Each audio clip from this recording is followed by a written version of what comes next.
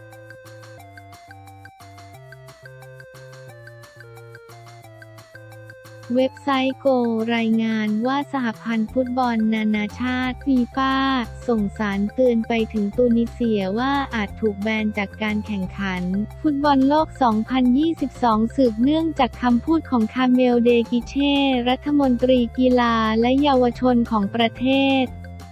โดยก่อนหน้านี้เดกิเช่พูดถึงความเป็นไปได้ว่ารัฐบาลตุนิเซียอาจจะทำการยุบสำนักงานด้านต่างๆ ของรัฐซึ่งฟีฟ่ามองว่าอาจรวมถึงสมาคมฟุตบอลตูนิเซีย FTF ในนั้นด้วย รายงานข่าวอ้างการเผยแพร่จดหมายลับโดยสถานีวิทยุโมเสก FM ที่มีเนื้อความว่าฟีฟ่าได้ขอให้ตูนิเซียชี้แจงรายละเอียดของคำพูดนี้เนื่องจากฟีฟ่ามีกฎชัดเจนว่าสมาคมฟุตบอลที่เป็นสมาชิกของฟีฟ่าต้องดำเนินกิจการอย่างอิสระ โดยไม่ถูกอำนาจใดเข้ามาแทรกแซง ทั้งนี้หากฟีฟ่ามองว่าเรื่องนี้เป็นความผิดจริง ก็เป็นไปได้ว่าตูนิเซียอาจถูกลงโทษถึงขั้นห้ามเข้าร่วมแข่งขันฟุตบอลโลก ซึ่งจะเริ่มต้นวันที่ 20 พฤศจิกายนนี้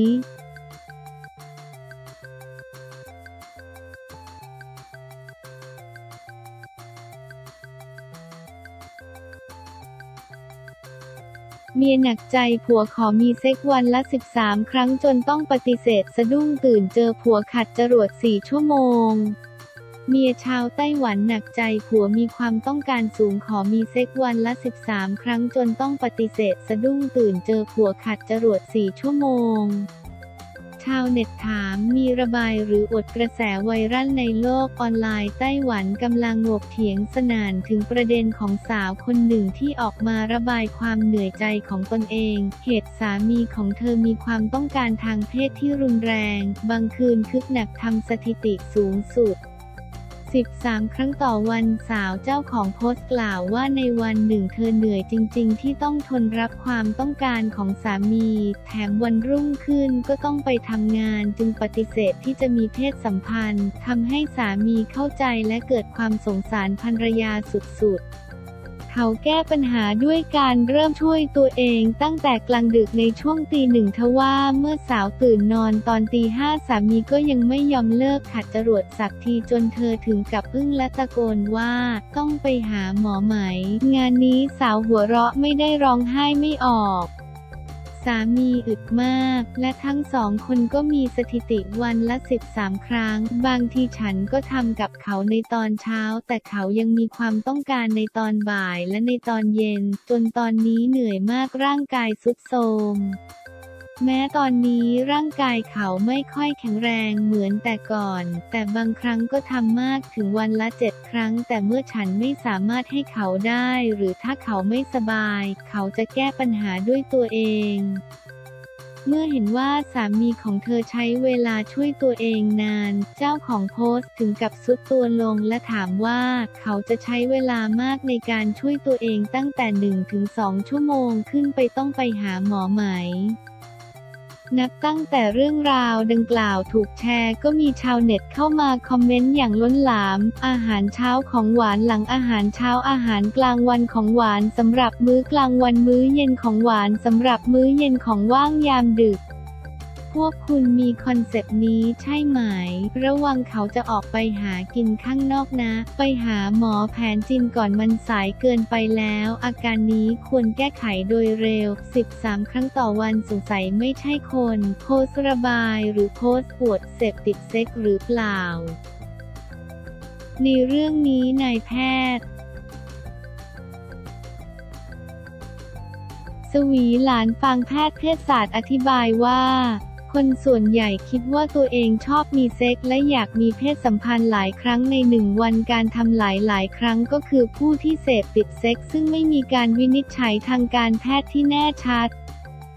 แต่หากมีความรู้สึกไม่พึงพอใจหลังจากการมีเพศสัมพันธ์ แต่ละครั้งจนขอคู่นอนมีเพศสัมพันธ์มากกว่าหนึ่งครั้ง เป็นเวลานานกว่าครึ่งปีก็เป็นหนึ่งในอาการของการเสพติดทางเพศ อธิบายง่าย ๆว่า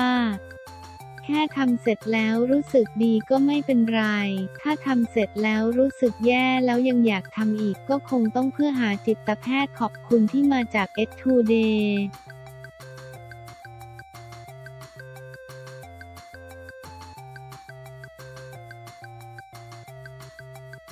บิ๊กบอลประกาศลาตำแหน่งผู้จัดการทัพฉลาม รับผิดชอบเหตุแข้งเมาแล้วขับศศิศ สิงห์โตทอง ผู้จัดการทีมชลบุรีเอฟซีประกาศขอยุติการทำหน้าที่ในทีมเพื่อเป็นการรับผิดชอบกับเหตุการณ์เมาแล้วขับของวรวุฒิสุขุนา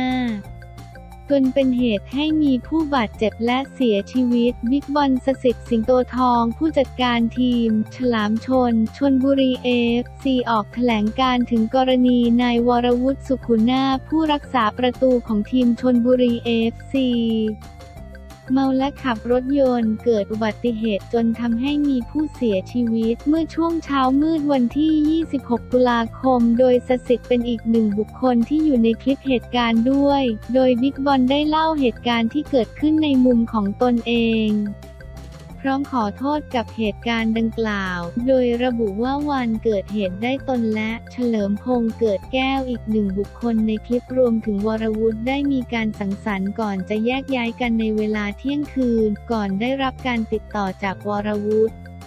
หลังจากเกิดเหตุจึงได้เดินทางไปที่เกิดเหตุ นอกจากนี้ผู้จัดการทีมฉลามชนยังชี้แจงถึงเหตุการณ์ในคลิปที่ปรากฏว่า เฉลิมพงษ์มีปัญหากับเจ้าหน้าที่เป็นเรื่องเข้าใจผิดและไม่ได้จะพาตัวผู้ก่อเหตุหนี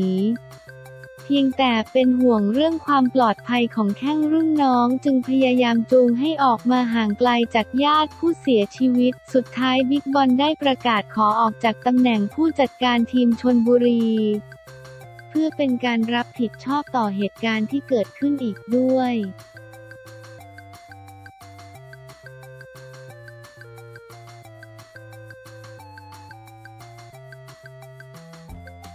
เจ็บแล้วจำ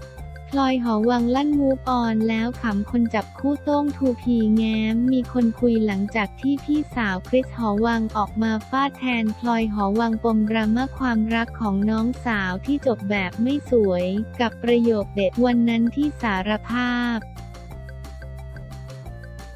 กับพี่ไม่เหมือนที่พูดวันนี้นี่คะ ล่าสุดพลอยหอวังที่มาร่วมงานรอบการล่าภาพยนตร์เรื่อง OMG รักจังหวะ ผิดจังหวะที่เซ็นทรัลเวิลด์ได้เปิดใจความรักที่จบลงเจ็บแล้วจำตอนนี้มูฟออนแล้วมีคนคุยแล้วด้วย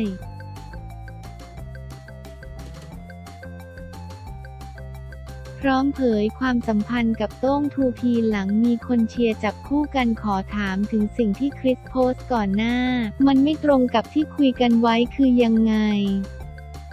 จริงๆ ไม่อยากพูดถึงเรื่องนี้แล้วนะคะ รู้สึกว่าซีนนี้มันหมดแล้วค่ะและอยากให้มูฟออนกันแล้ว พี่คริสเขาออกแฉไปแล้วค่ะเขาก็พูดไปเสร็จเรียบร้อยแล้วค่ะพลอยเคลียร์จริงๆไหม เคลียร์ค่ะเคลียร์กับเขา เคลียร์กับเขาค่ะไม่อยากพูดถึงเรื่องนี้แล้วค่ะ พอแล้วซีนนี้มันหมดแล้วค่ะต้องมูฟออนคริสได้บอกพลอยก่อนไหมว่าจะขอพูดอะไรพลอยยังไม่รู้เลยว่าเขาจะไปออกแฉด้วยซ้ำ แต่ว่ามันเป็นสิทธิ์ของพี่สาวพลอยที่เขาจะรู้สึกตรงนั้น มีคนออกมาปกป้องเราให้กำลังใจเราเยอะ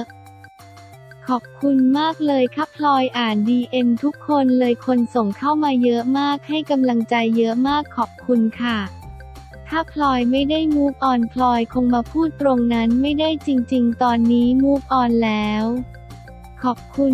มากๆนะคะ ที่ส่งกำลังใจมาให้ ทุกคนตามสืบกัน เขาชอบกันใช่ไหม ยิ้ม เรื่องของเรื่องคือชอบกันใช่ไหมล่ะ ปกติมีติดเทรนด์บ้างไหม อย่าเลย หัวเราะ จากวันนั้นมีฟีดแบ็กกลับมาถึงพลอยอย่างไรบ้างที่ให้ไปสืบกันเองเอาจริง ๆ วันนั้นพลอยไม่ได้คิดว่ามันจะเป็นเรื่องขนาดนี้ และไม่คิดว่ามันจะบานปลายขนาดนี้ด้วย ก็งงอยู่เหมือนกันก็ตามนั้นมันไปแล้วมีผลกระทบตามมาไหม สำหรับพลอยไม่มีนะคะ เพราะพลอยพูดชัดเจนและตรงมากๆค่ะ กับทุกสิ่งทุกอย่างพลอยแค่ไม่อยากพูดถึงแล้วมันผ่านมาสักพักแล้ว ไม่อยากพูดถึงเรื่องนี้ให้ประสบการณ์อะไรกับพลอยบ้าง ให้รักตัวเองมากที่สุดอันนี้พูดถึงทุกคนไม่ใช่แค่พลอย ทุกคนตรงนี้เอาตัวเองเป็นหลักก่อนเสมอ อย่าไปให้ความรักกับคนอื่นมากจนเกินไป สุดท้ายเราจะเจ็บเองคนรอบข้างยังไว้ใจได้ไหมคนรอบข้างไว้ใจได้ถ้าเป็นเพื่อนเราค่ะยิ้ม ถ้าไม่ใช่เพื่อนเราก็ไม่ต้องไว้ใจหรอกค่ะ หัวเราะล้อเล่นๆต้องระวังตัวมากขึ้น ในเรื่องของการมีความรักหลังจากที่เรามูฟออนแล้ว เอาจริงๆ ก็ใช้ชีวิตแหละใช้ชีวิตไปเหอะ คือถ้าเราจะต้องพลาดอีกมันก็คือต้องพลาดแล้วเราก็ต้องเรียนรู้กับมันไปสำหรับพลอยก็พยายามเข้าใจมันแล้วก็พยายามมูฟออนกับมันค่าเหตุการณ์ที่เกิดขึ้นทำให้เราต้องสแกนคนรอบข้างมากขึ้นไหม ก็สแกนนะคะ แต่จริง ๆ พลอยมีเพื่อนที่น่ารักมากๆ แล้วก็มีคนที่รักพลอยเยอะมากๆ มันก็เลยรู้สึกว่าเออเรามีแค่นี้เราพอแล้วมีพี่ๆสื่อมวลชน ทุกคนตรงนี้ก็พอแล้ว มันไม่ต้องมีอะไรไปมากกว่านี้แล้ว ยิ้ม แล้วมีคนถูกสแกนออกไปเยอะไหม จากเหตุการณ์นี้ เยอะไหมเหรอ หนูเป็นคนเพื่อนเยอะมาก เอาไงดีวะเฮ้ย หัวเราะ จริง ๆ พลอยไม่ได้ unfriend คนเยอะขนาดนั้นค่ะสำหรับพลอยถ้าเรื่องมันจบกันไปแล้ว ก็จบไปใช้ชีวิตวันหนึ่งอาจจะกลับมาเป็นเพื่อนกันก็ได้ค่ะ มันไม่ได้รู้สึกว่าคนเรามันจะเกลียดกันได้ตลอดสุดท้ายมันก็ต้องลืมกันไปเขาก็คงมี part ที่ดีอะไรแบบนี้ มันก็กลับมาคุยกันได้เราเป็นคนไม่ผูกใจเจ็บกับเรื่องแบบนี้ใช่ไหม เราเจ็บเราจำเราไม่ลืมเรารู้ว่าจะต้องทำยังไงกับคนคนนี้ แต่เราไม่ได้เกลียดเขาเรารู้สึกว่าคนเรามันสามารถผิดพลาดกันได้ แล้วเดี๋ยวก็คงกลับมาเป็นคนที่ดี แต่ว่าเราไม่ขอสนิทด้วยแล้วนะให้อภัยไหม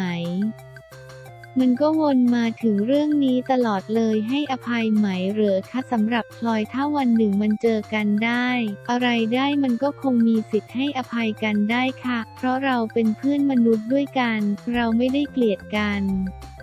แค่ตอนนั้นมันอาจจะทำให้เรารู้สึกเจ็บแต่สุดท้ายแล้วถ้าวันหนึ่งมันต้องวนกลับมาเจอกันก็ต้องกลับมาเจอกันมาคุยกัน แต่คงไม่ขอสนิทด้วยพร้อมเปิดใจหรือยัง